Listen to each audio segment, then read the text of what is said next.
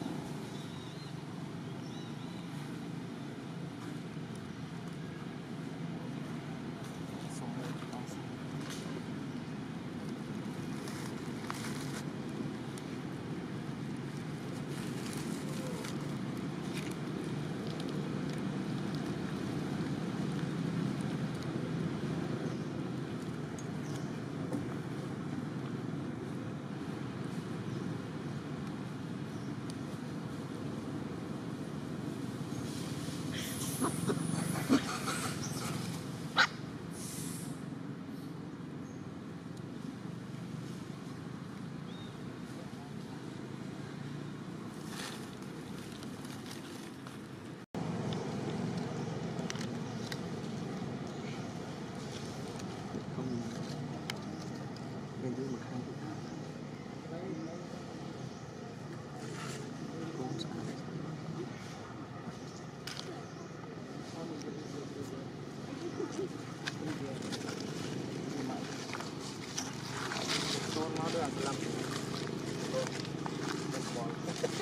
Mẹ đấy rồi bạn nó lâu rồi mà.